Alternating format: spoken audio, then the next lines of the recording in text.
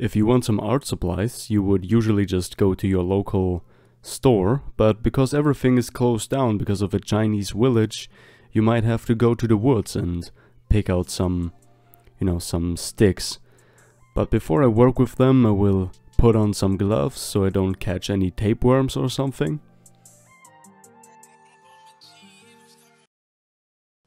And I will not do anything overly fancy with these pens, uh, I think, uh, or these sticks. Uh, I think everyone as a child, you know, if you had a pocket knife or any knife at all, and you were outside a lot, you would just, you know, sharpen the, the sticks to, you know, to a pointy tip. And that's what I used to do, and that was so much fun. And I thought, let's try to, you know, create some dip pens with them, basically, you know, to just to dip into um, some some black ink and see how well they draw. After I got rid of um, the bark on the outside, again, tapeworms and stuff, uh, I decided to give it a little test. Uh, and I was surprised, you know, I thought that this was going to be like, you know, basically a waste of time. But I was surprised that, you know, the wood actually held quite a lot of ink. And, um, yeah, it created some crisp and smooth lines. Of course you had to dip it a lot, but it worked. And yeah, so I wanted to see what else I can do with it. But yeah, we will see some more drawings after the intro.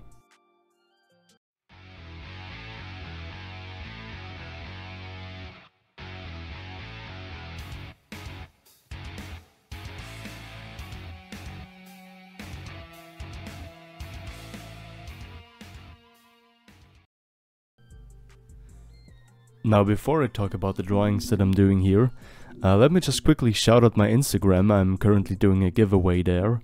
So if you're interested in that, just check it out, it's down in the description.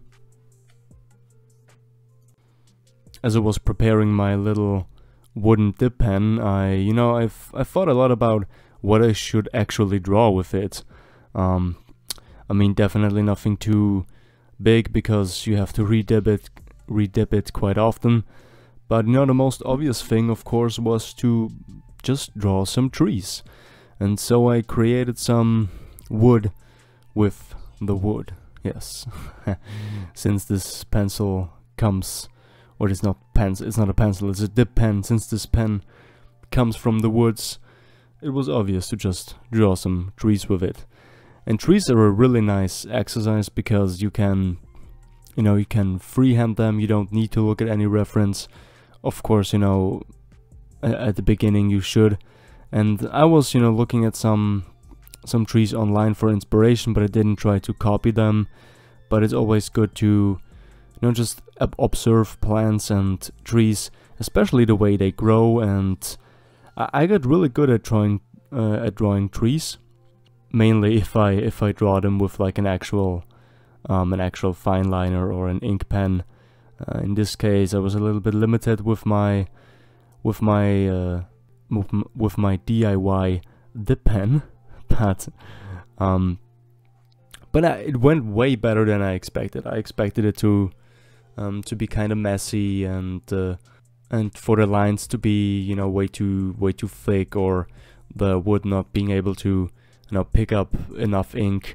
But hey, I have to say it worked quite well. Maybe I should have like um you know sealed off the the wood at the tips so that it uh, you know didn't that it doesn't dry so quickly. I probably should have done that, but you know, in the end it just worked out fine.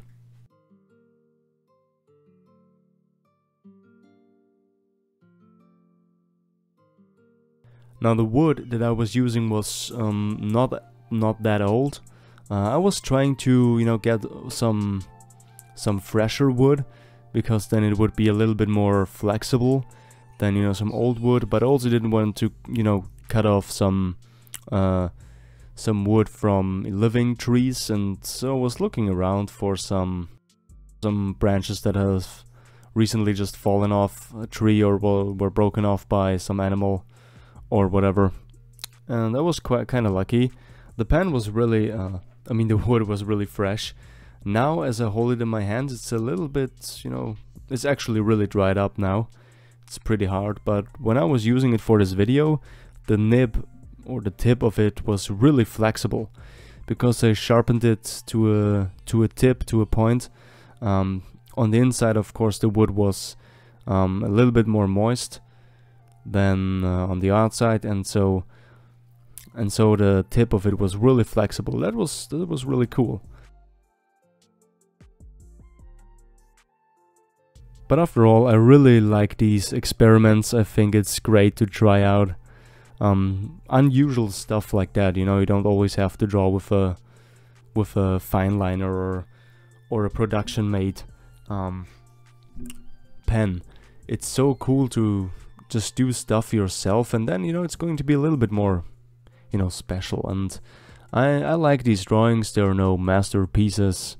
Uh, if you look at some of my other drawings, you know that it's not usually my style. Um, but yeah, just a really cool experience. I'm thinking about doing some more videos like this, um, but of course with a little bit better equipment.